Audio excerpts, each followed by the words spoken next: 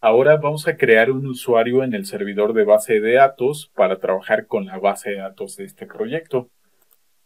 Lo que haremos a continuación es abrir la interfaz de XAMPP. Vamos a darle clic en el botón Shell.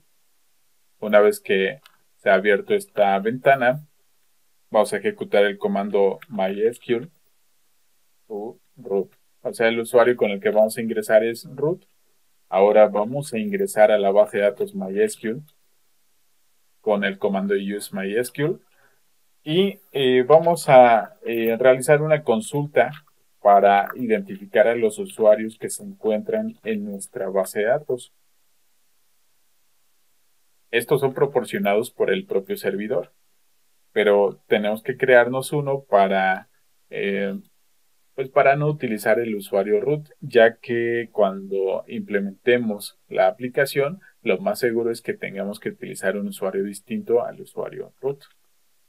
Entonces, eh, una vez estando dentro de la base de datos MySQL, debemos ejecutar el comando crear usuario. Después le podemos colocar el nombre que, que queramos. Sin espacios, por favor.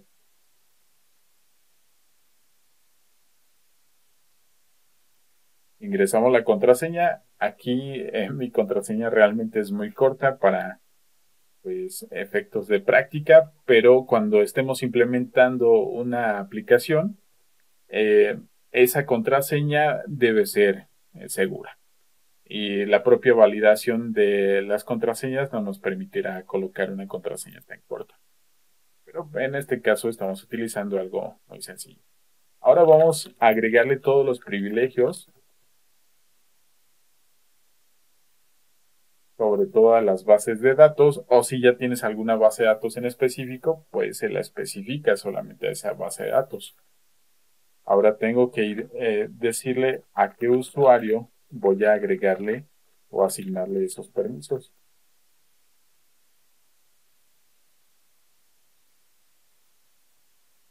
Perfecto. Ahora vamos a descargar los privilegios. Muy bien. Y hasta aquí ya hemos creado nuestro usuario para la base de datos. Vamos a ejecutar este comando para identificar o para verificar que ya esté creado. Y es correcto. Hasta aquí dejamos este video.